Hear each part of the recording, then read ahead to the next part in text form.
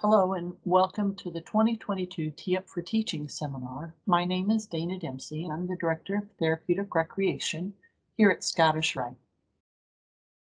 This is our fourth session and it's regarding disabilities and teaching individuals who have a disability. So how disabilities can affect a golfer's functioning level and then once you understand that, how do we teach? Many of you are already golf instructors, and many of you are already therapists working with individuals who have a disability.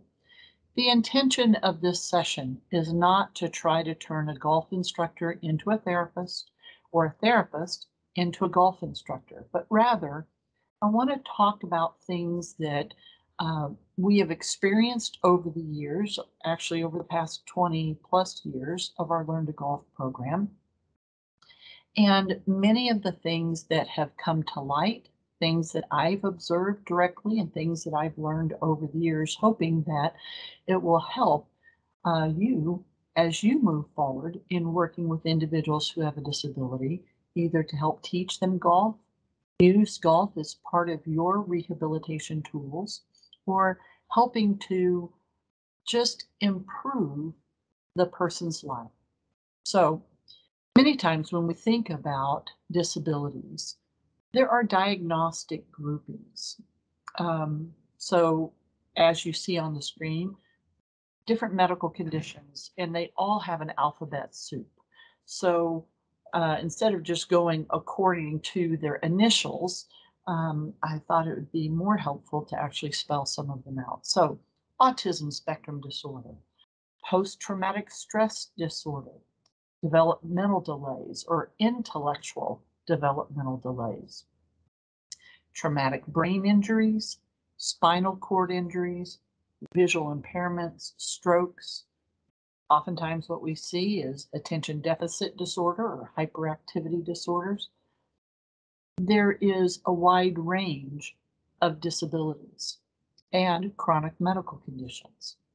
And now, with the internet, it's pretty easy to Google a particular condition and get an understanding, a baseline understanding of what it means. What does that condition mean?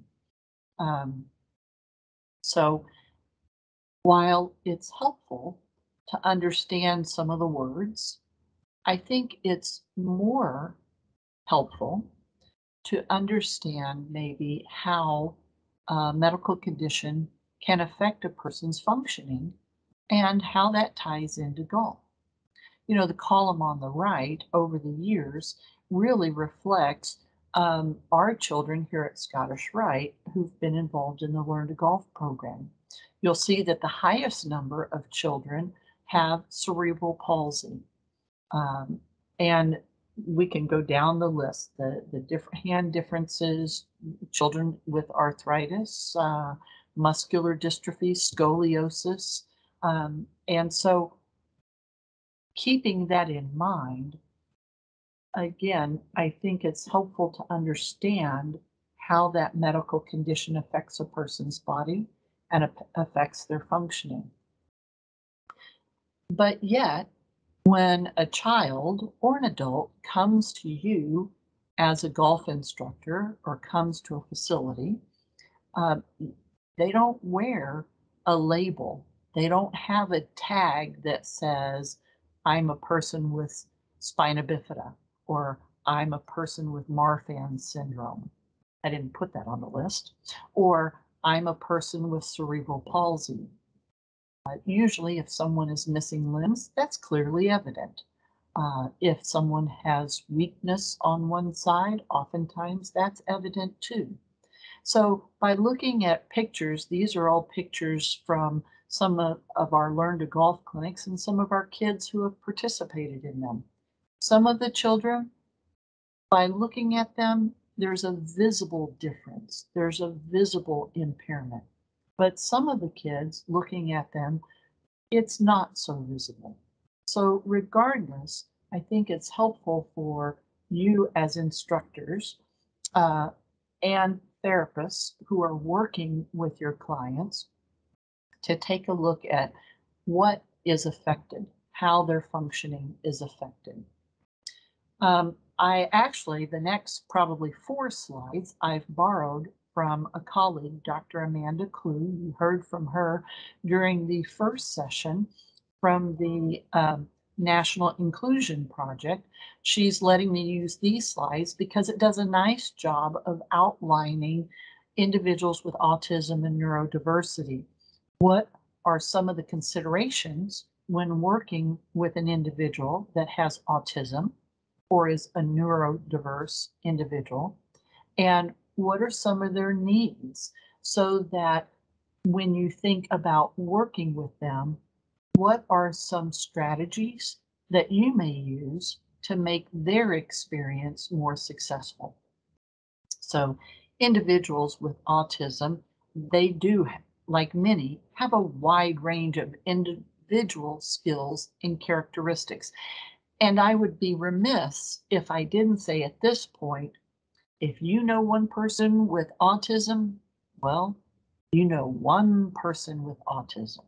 Or if you know one person with an amputation, you only know one person with an amputation. You cannot necessarily generalize and think just because, oh, I know someone with XYZ, that doesn't mean that those characteristics that that one person has is going to carry over and be true for the next person with that same medical condition or the next person with that same medical condition because we are all unique individuals and how various medical conditions affect us, even sometimes the same medical condition can affect us in very different ways. So individuals with autism often experience delays or uh, either delays in obtaining um, language skills or they may have uneven language skills. Oftentimes, individuals with autism have difficulty in social settings. They have uh, difficulty with social skills, and therefore it makes it hard to be around others, to be successful in social settings. Many times individuals with autism, they have an uneven pattern of cognition, meaning how to process information, how to learn, uh, even uneven patterns in their intellectual abilities. They may be really strong at one skill, let's say math, but yet science or languages, they are very slow in. It's really very different for each person. Oftentimes they experience what are referred to as sensory sensitivities, meaning that a person may become overwhelmed with too much sound or too many people around, too much stimulation, visual stimulation. And so many times, some of these difficulties that, that they have, they may be exhibited in behavioral struggles. You know, someone from the outside may look and just think, oh, that child is behaving badly, when it's not about behaving badly, it's about being overwhelmed and not knowing how to cope with the issues that they have, with the limitations that they have. So, as a person working with them, it's maybe helpful to make sure that you have structured, organized lessons, make sure there's predictability, have things be sequential, break tasks down into segmented parts and pieces that build upon one another. And it may take a little longer for the individual to learn, but it gives a consistent way in which they can learn and a consistent way in which the information is presented to them. Make sure that there are intentional opportunities that you model social behaviors, but that you also provide opportunities for the, the learner to have social interactions, not only with you, but with others too, and have the opportunity to develop friendships. Again, modeling and flexibility, modeling the opportunity or modeling really the way that one might imagine or pretend.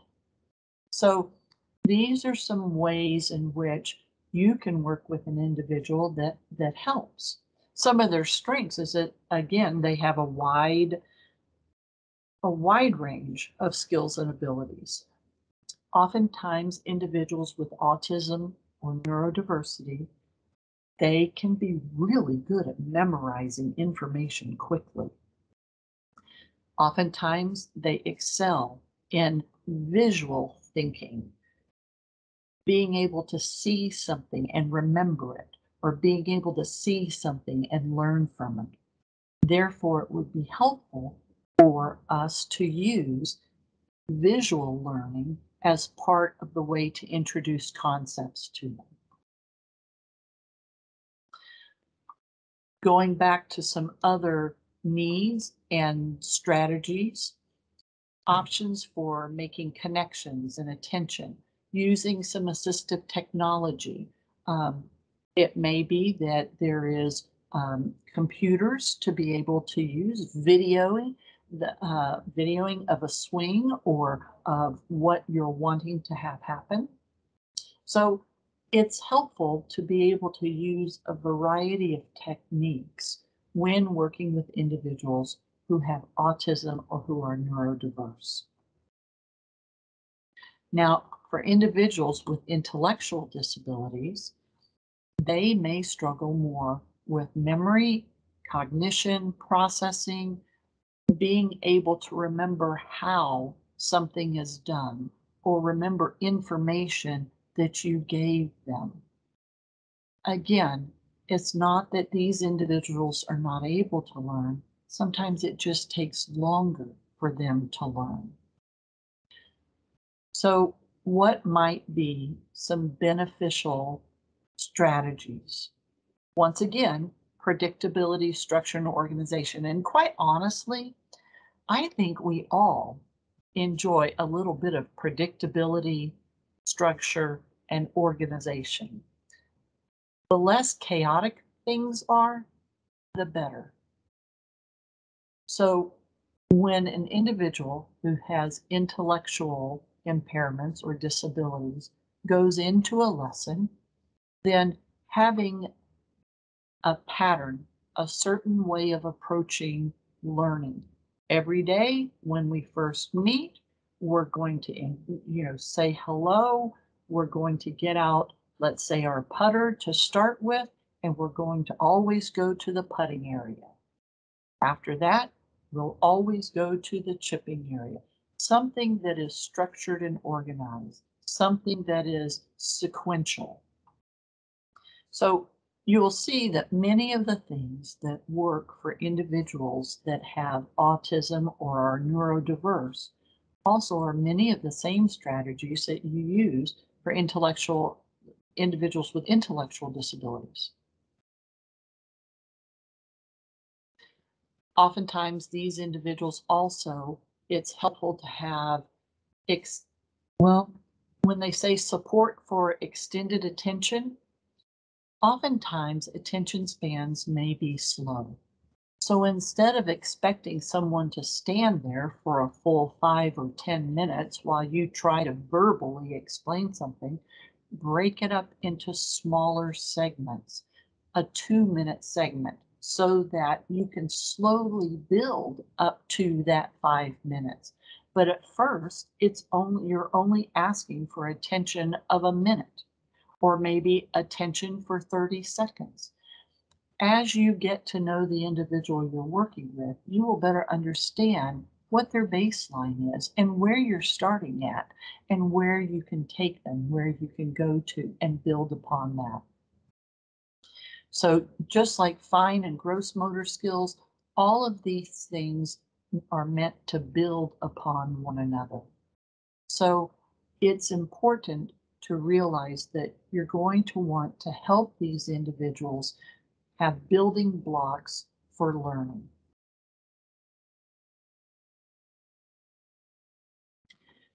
When we take a look at the physical side, whether it's a golfer with muscular dystrophy, cerebral palsy, or CP, maybe arthritis or some other rheumatic disease, or spinal cord injury. All of these can cause decreased strength, decreased endurance. So in some ways, while it's helpful to know that someone with cerebral palsy may have decreased strength, when somebody comes to you, it it's not so much what it is that caused the decreased strength. I think what can be more helpful, and this is what instructors have told me over the years, it's more helpful to know what I need to do with that individual. What are some strategies or things that I can use to compensate for their decreased strength and endurance? So, some strategies such as using equipment that's easier to handle. Maybe, for example, if they have decreased strength and they're not swinging as hard, so therefore the, the club's head speed is slower, maybe clubs with more loft or maybe clubs that have more flexibility or something that's lightweight. You know, if you have trouble bringing back the club to swing because of the weight, well, then get a lighter club so that you can, in fact, control. We talk about temperature regulation and why that's important for decreased strength and endurance is because if a person is unable to regulate their own temperature, meaning, let's say if I'm an individual with a spinal cord injury and my body does not regulate my temperature, meaning I overheat, that is going to make me even more tired. So, what type of things can I do to help adjust my body temperature or recognize that maybe I need to be out of the sun more, or maybe I have shorter periods of exertion? So, things like that are helpful to know that you can adjust when you're working with the individual. Contractures or spasms. Sometimes as people get individual, um, sometimes as people get more um, tired, they've exerted more effort, muscles get tired. Sometimes you will see spasms. You will see uh, uh, where there is less, oh, I guess the, I would say you see less effectiveness in that muscle. But then sometimes, because of contractures, where let's say you have a contracture in a joint, like an elbow joint or a knee joint, um, where it's in a fixed position, that is going to make it difficult for the person to move, not only to, to walk uh, or to stand uh, or to swing a club, but that also means that they are having to exert more energy to try to swing that club or to try to stand or to walk. And so, because of contractures or spasms, that can cause a person to burn a lot more energy. And once again, you may need to think about having shorter periods of time where they're having to expend energy. So, different things can cause decreased strength, decreased endurance. And so you want to consider what can we do given the amount of strength or given the amount of endurance, perseverance that the individual is able to exert can only go so far before their body just it's too much. So there are things also like course strategy that can help compensate for lack of strength or endurance. Um, so play smarter, not harder. individuals who have limited movement. And what I mean by limited movement is instead of being able to, let's say, bring your arm all the way up over your head, maybe they're only able to bring their arm up to a shoulder height. Um, maybe limited movement means they can't turn their shoulders as far as what one would like during a swing. Maybe there is the limited motion or limited movement in any joint, in any um, type of movement that they're trying to make those joints, those muscles do. So again, lightweight equipment. Um, mentioned grip size, you might think about, well, why grip size? Why does that help with limited movement? For individuals, and I see this more with individuals with cerebral palsy and arthritis, especially if it affects their hands, that trying to grip on a club with a more narrow grip is very difficult. So by building up the grip size, that allows them to hold on to the club in a more comfortable and a more controlled way. So taking a look again at the shafts with flexibility on the club. Um, a torsion adapter is a, a, a device that's actually used on a prosthetic limb that allows for twisting and turning. Um, so if you're working with an individual who has a lower extremity amputation and they're having trouble turning, maybe it's appropriate for them to talk with their prosthetist. Let the prosthetist know that they are wanting to play golf and they're having trouble turning as their golf instructor would like them to turn. So while the golf instructors don't need to become prosthetists, it is helpful to be aware that there are components that can be put on a prosthetic device that may aid in that turning. Again, with the uh, hydration, uh, the wearing time for an individual who has a prosthesis um, with that limited movement, oftentimes when an individual that's using a lower extremity prosthesis and their, their, their residual limb is in that socket, they're moving within that socket. The honestly, the goal is to not try to have that limb move within the socket because of how that can cause uh, pressure sores. It can wear on the skin. So recognizing that the amount of time that a person has their prosthesis on can affect their ability not only to move, but it also can affect their endurance um, as well. When we come to balance issues, there are a lot of things that address balance issues. Um, and so we will take a look at individuals who have amputations and how that balance can affect. Or what about those individuals that wear braces? And what I'm specifically referring to on the braces are what are called AFOs or ankle foot orthoses. Those are the braces that uh, you will see people have that come to the back of their calf, around the back of their heel, and uh, underneath their foot. And that helps to prevent their foot from dropping. It helps to hold the foot in the proper position so that as they walk, they're not tripping and falling. So with these AFOs, imagine, and maybe some of you have walked in snow ski boots before.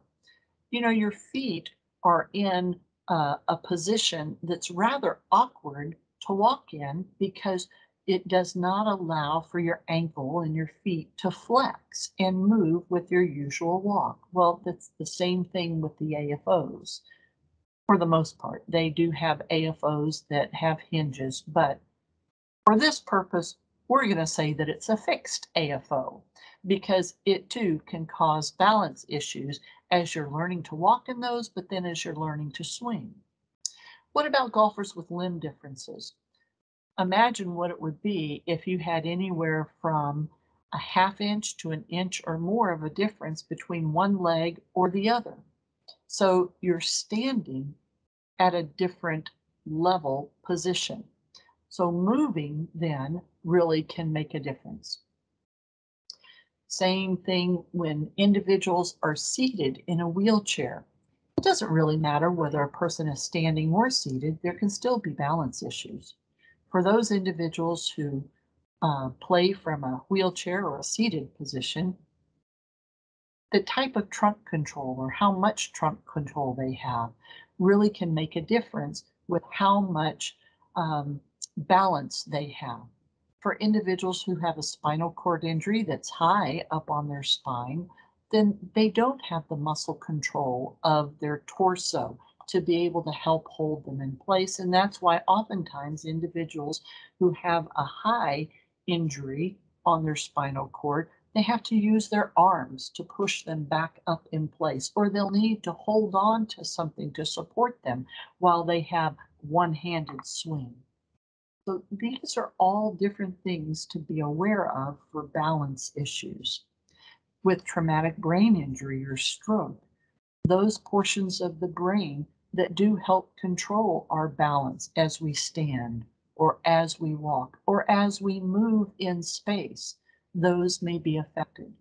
So rather than expecting an instructor or even a therapist to know exactly how that is going to affect the person, you don't necessarily know because it affects everybody differently. So you need to be able to observe, be able to communicate and talk with that golf student, with that customer, that client, that patient, so that you understand that the movements that you're asking them to make, how does that feel for them? How does that affect them? Where are they um, uncomfortable? Where do they not feel balanced or settled? When we look at approaches to teaching, uh, according to Sports and Recreation for the Disabled, in most cases, the medium or the, the method for involving individuals with disabilities is not about equipment so much as it is about the proper instruction by an experienced golf instructor. Now, whether it's golf or not, go back and think about in school, when you were in school and you had teachers. I'm sure you can think back about some teachers that really helped you love the subject. You loved learning. You enjoyed being around them. They made learning fun and they helped you feel more confident as you were learning. The same is true with golf instructors. The same is true with therapists working with individuals in a healthcare setting. How you approach teaching how you approach interacting with the individual makes all the dis- di- difference in the world, really. I like this quote by Ernest Jones. The trouble with teaching golf is that one is taught what a swing produces instead of how to produce a swing. There's a difference between focusing on body movement and focusing on club movement and we'll get to that in just a moment. I mentioned before about how it's important to do observation, to observe, understand, and we all know this in our head. No two golfers are the same. They have different strengths, they're different size, shapes, athletic abilities. And yet, sometimes I have observed instructors try to teach different children the very same way, as if they are carbon copies of one another, and they're not carbon copies. Each person swing is going to be a little different, their stance is going to be a little bit different, but regardless, you can still teach the person to swing the club effectively. And this isn't a new concept.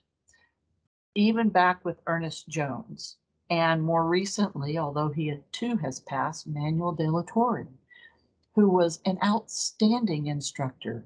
He knew the importance of swing the club head instruction, not trying to make your body move in just a certain way.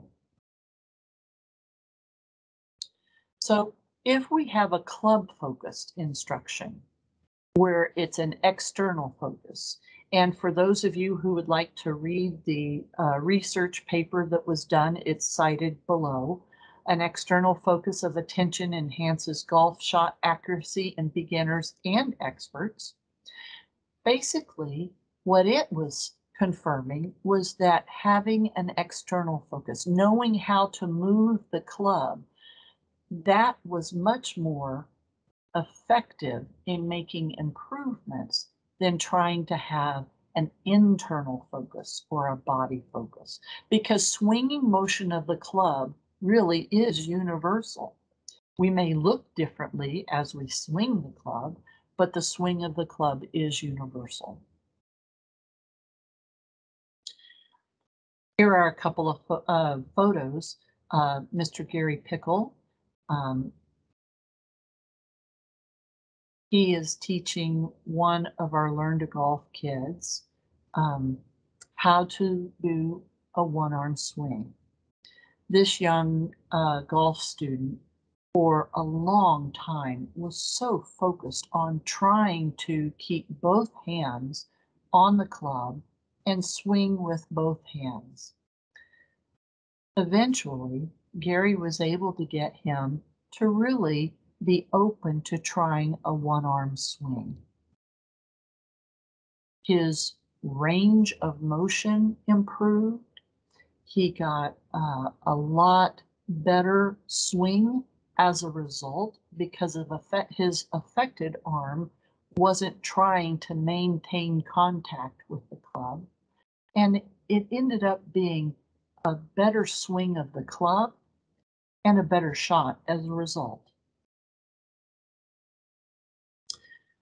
The body focused approach to instruction teaches that you need to control how your body moves.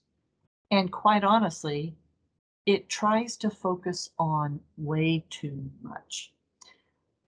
It's amazing how within just a split second, our mind can go in a dozen different directions. Oh, I got to focus on my balance, my tempo. How do I breathe? Is my arm in the right place? Are my hands back right? So instead of getting all that and trying to focus on all of that, focus in on the club because a body focus type of instruction it demands that the body parts all have to do in a correct order, in a correct sequence, in the correct position. It's asking the golfer to address too many things. I love the picture on the left. Uh, first time I saw it, I, I couldn't help but think, oh my God, that's me. Because for a long time, I myself was very focused on body focus instruction until I had some golf instructors that used a club focused form of teaching. And it helped so much. I'm so grateful. So, approaches to teaching not only are more effective if you have a club focused approach, it's also about relational teaching or relational coaching. I love this photo. Daryl Chase, who uh, used to work out at um, Oakhurst in Bullard, Texas. This is him with a couple of our Learn to Golf golfers. He is probably one of the best golf instructors I have seen that really show the the caring, the concern. He listens well to the kids um, he just makes learning golf fun. And it is fun to watch him with the kids, to see how they interact, to see how they're excited.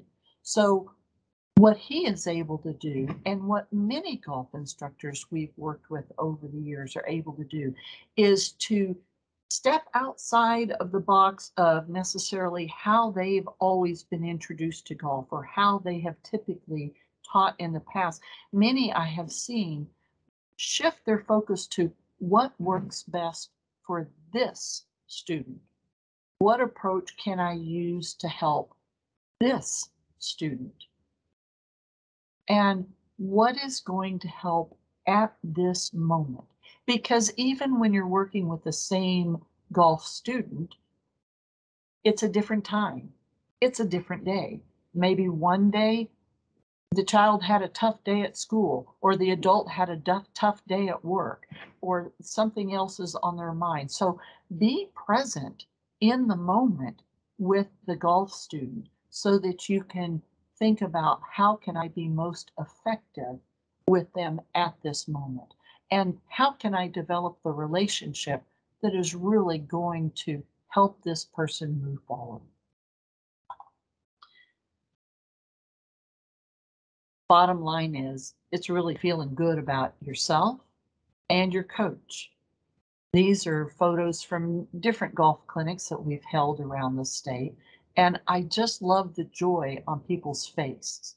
You know, these aren't staged photos. It's it's about enjoying what you're doing, working with the student, working with the instructor. And many of you experience these types of, of events and experiences yourself when you teach. So don't get don't get so worried about getting hung up about, oh, I'm going to be working with an individual who has a disability. Go out and have some fun. And you know how to teach golf. Do that. Work with them. Now, like I said, many of you already know how to coach and teach.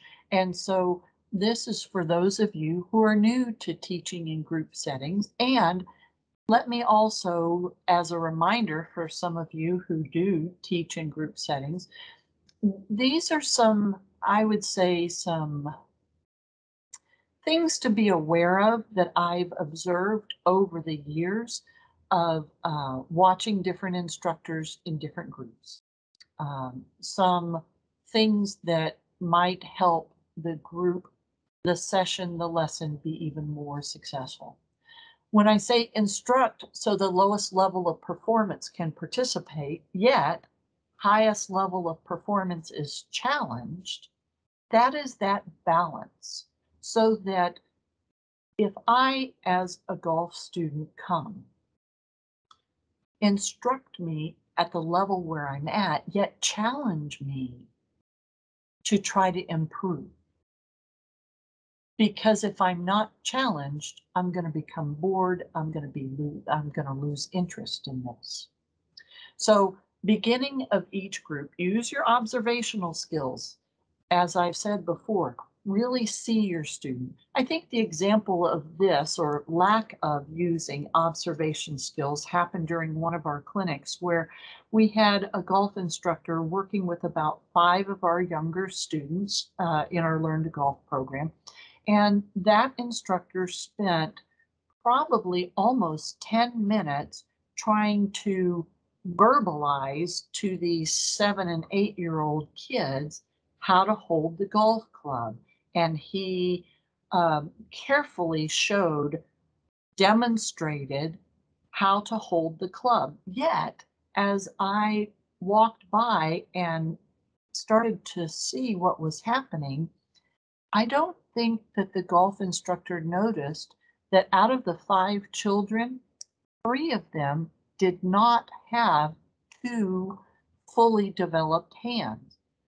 One was missing a hand completely, and the other two did not have all their fingers on their hands, and so therefore their grip would not look like the instructor's grip. So make sure you use your observation skills and see your student. Consider using nonverbal approaches. Yes, explaining is great, but so is the demonstration. Um, using a nonverbal way to show is also very helpful. Sometimes it is a um, hand-on-hand -hand approach, kind of that I do, then we do, and then you do. I will show you. We may do this together for hand on hand, and then you do this on your own and show.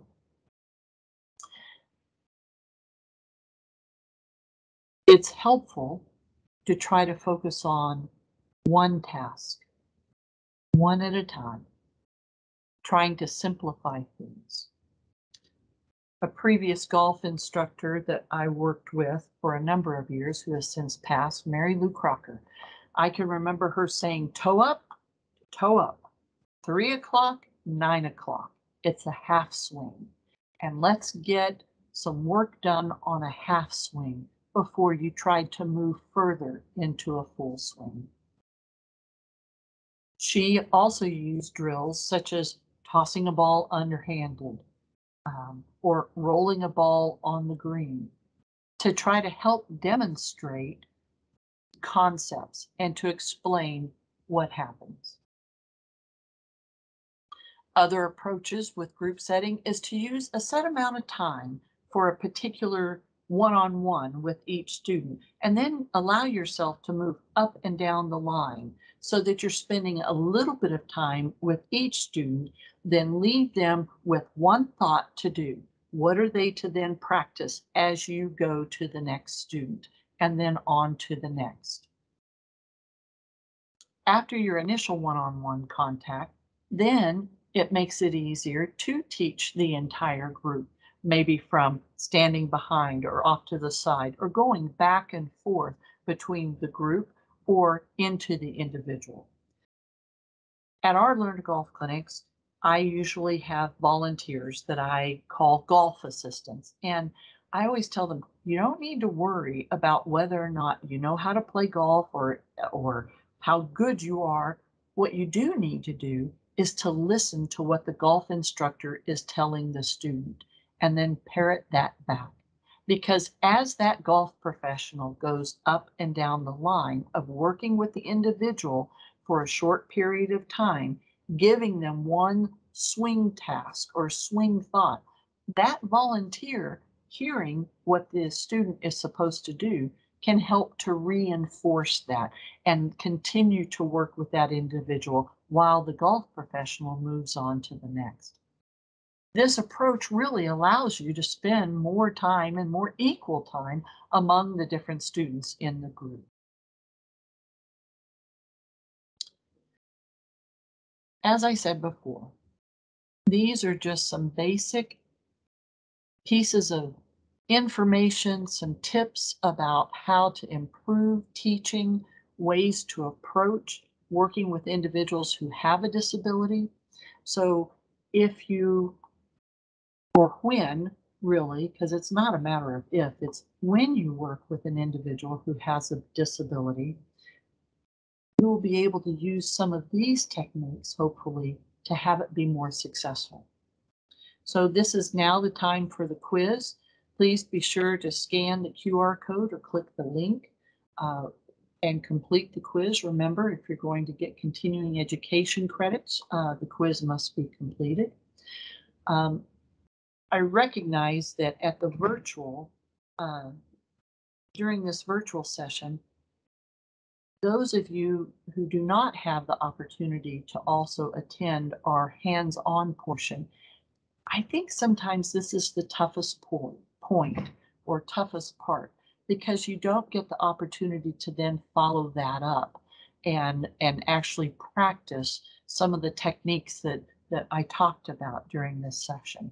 So I would encourage you that if you're watching this from another state, try to work with individuals, get connected with some of the organizations uh, in your area. Is there uh, an amputee golf association? Is there a program that already is geared towards working with individuals to have a disability. Go and volunteer your time so that you get some experience and feel more comfortable working with those individuals. That's why a hands-on portion is so important but I do think it's helpful to understand some basic information and, and to have a foundational knowledge on which to then use and implement. I want to thank you for your time. Uh, if you have questions for me, please be sure to reach out and send me an email to dana.dempsey at tsrh.org and I'll be happy to answer your questions either by email or we can have a phone call or a virtual uh, meeting. Thank you.